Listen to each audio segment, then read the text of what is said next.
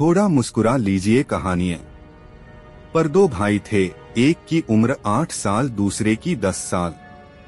दोनों बड़े ही शरारती थे, उनकी शैतानियों से पूरा। मोहल्ला तंग आया हुआ था माता पिता रात दिन। इसी चिंता में डरबे रहते कि आज पता नहीं वे दोनों। क्या करें?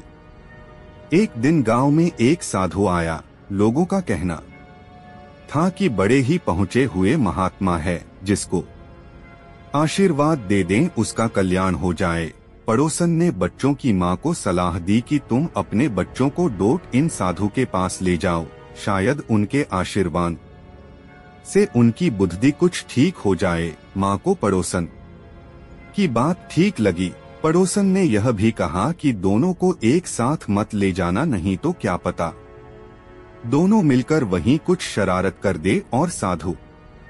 नाराज़ हो जाए।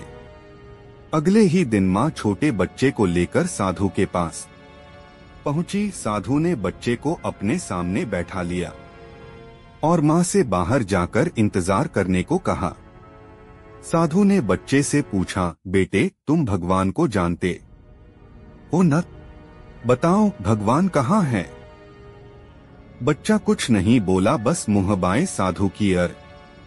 देखता रहा, साधु ने फिर अपना प्रश्न दोहराया, पर बच्चा फिर भी कुछ नहीं बोला। अब साधु को कुछ चिड़सी आई, उसने थोड़ी नाराज़गी प्रकट करते हुए कहा, मैं क्या पूछ रहा हूँ, तुम्हें सुनाई नहीं देता।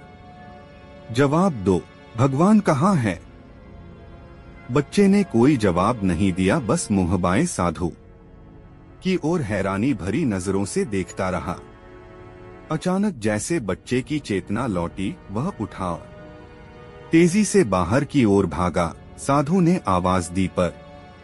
वह रुका नहीं, सीधा घर जाकर अपने कमरे में पलंग के नीचे छुप गया। बड़ा भाई, जो घर पर ही था, ने उसे छुपते हुए देखा तो पूछा, क्या हुआ?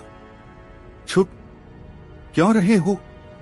भया तुम भी जल्दी से कहीं छुप जाओ, बच्चे ने घबराए हुए स्वर में कहा। पर हुआ क्या? बड़े भाई ने भी पलंग के नीचे घुसने की कोशिश करते हुए पूछा। अब की बार हम बहुत बड़ी मुसीबत में फंस गए हैं। भगवान कहीं गुम हो गया है और लोग समझ रहे हैं कि इसमें हमारा हाथ है। अगर आपको हमारी स्टोरी अच्छी लगी हो तो अपने दोस्तों के साथ भी शेयर कीजिए और लाइक एंड सब्सक्राइब और कमेंट में ज़रूर बताइए कि कैसी लगी हमारी